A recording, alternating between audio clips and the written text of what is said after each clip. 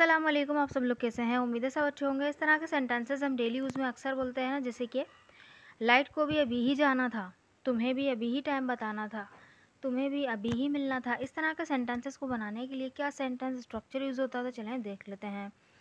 First of all देखिए, सबसे पहले यहाँ पे आएगा सब्जेक्ट सब्जेक्ट के फ़ौरन बाद आएगा टू। यस, सब्जेक्ट के फ़ौरन बाद हम टू का यूज़ कर सकते हैं।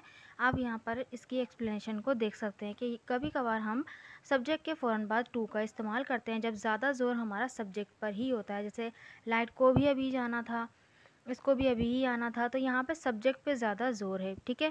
फिर उसके बाद आएगा हैड टू हैड टू का यूज़ होगा, फिर उसके बाद आएगी वर्ब की फ़र्स्ट फॉर्म देन उसके बाद आएगा राइट अवे राइट अवे यानी अभी ही, ठीक है? सो ये पूरा स्ट्रक्चर है, इसको सेंटेंसेस में किस तरह से इस्तेमाल करेंगे, चलें देखते हैं। फ़र्स्ट सेंटेंसेज लाइट को भी अभी ही जाना था। लाइट को भी अभी ही जाना था तो लाइट को हम लाइट ही नहीं लिखते, बल्कि पावर का यूज़ करते हैं। किस तरह देखें? The power to had to go off right away the power to had to go off right away. So यानी यहाँ पे जो सब्जेक्ट था, वो था लाइट, यानी द पावर पावर के बाद हमने टू लगाया, फिर उसके बाद आ गया हैड टू। हैड टू यानी लाइट जाना लाइट जाना के लिए हमने गो ऑफ़ का यूज़ किया, ठीक है? फिर उसके बाद अभी ही के लिए राइट अवे आ गया। सो सेंटेंस बना the power to had to go off right away.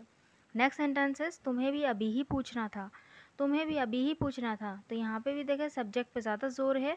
तो यू के बाद टू आएगा। You to had to ask right away you to had to ask right away next sentence is उसे भी अभी ही आना था। उसे भी अभी ही आना था। तो बनेगा he to had to come right away he to had to come right away next sentence is तुम्हें भी अभी ही टाइम बताना था। तुम्हें भी अभी ही टाइम बताना था। तो बनेगा you to had to tell the time right away you to had to tell the time right away so I hope आपको ये वाला स्ट्रक्चर समझ में आ गया होगा। एक सिंपल सा, आसान सा स्ट्रक्चर है। बस ये कि ज़्यादातर आप इसको सेंटेंसेस को बोलेंगे तो ये आपको फेमिलियर फील होगा। ठीक है?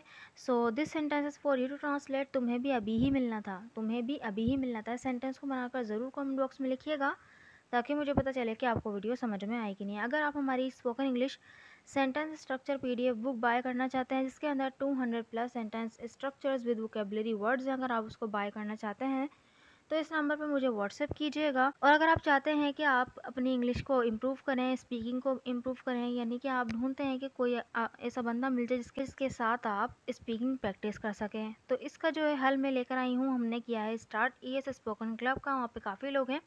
अगर आप भी ज्वाइन करना चाहते हैं तो इस नंबर पर मुझे व्हाट्सएप कीजिए, मैं आपको आप डेमो सेशन लेने के बाद डिसाइड कर सकते हैं कि आपको ज्वाइन करना है या नहीं। So thank you so much